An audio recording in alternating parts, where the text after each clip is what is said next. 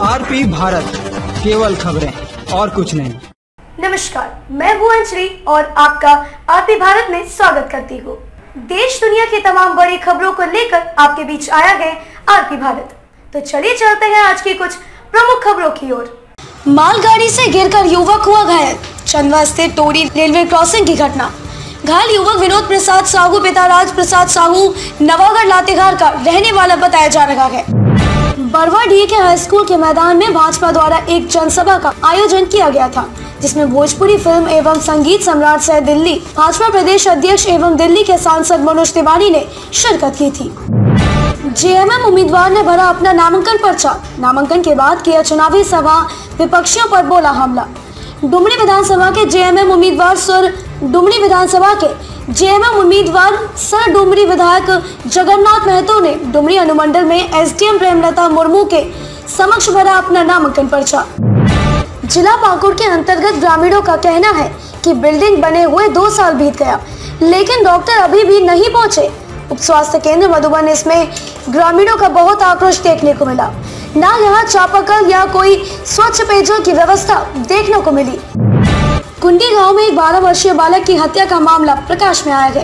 इस संबंध में परिजनों ने बताया कि मेरे पुत्र को गाँव के ही एक लड़के भालू दास, उम्र 12 वर्ष, जिन्होंने घर से गोटी खेलने के लिए कहकर बुला कर ले गया और मेरे बेटे को हत्या कर एक गड्ढे में फेंक दिया। दो घंटे बाद वही लड़का भालू दास मुझे आकर बताता है।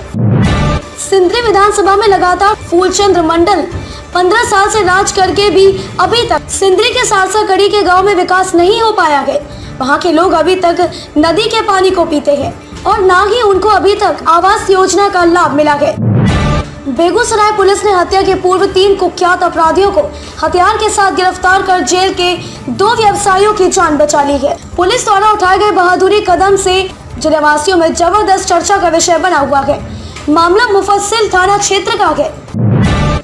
दुमका आगामी विधानसभा चुनाव को लेकर घोर नक्सल प्रभावित क्षेत्र शिकारीपाड़ में चला वाहन चेकिंग अभियान। दुमका, झारखंड और बंगाल के बीच शिकारीपाड़ में थाना प्रभारी संजय मालवीय के नेतृत्व में चलाया गया वाहन चेकिंग अभियान। युवा नेता अजित पाल कुजूर की हुई घर वापसी। कहा अपना घर अपना ही होता है। महागठबंधन के प्रत्याशी रामचंद्र सिंह के पक्ष में करेंगे कार्य। चुनाव प्रचार के अंतिम दिन महुआ डांड के राजनीति में पुनः बड़ी उलटफेर हुआ। लिट्टीपाड़ा विधानसभा टीएमएस प्रत्याशी शिव चरण मालतो एक बैठक की, जिसमें दो तारीख को नामांकन करने के बारे में अपने कार्यकर्ताओं को बताया और जोरों से जेएमएम के ऊपर प्रहार किया।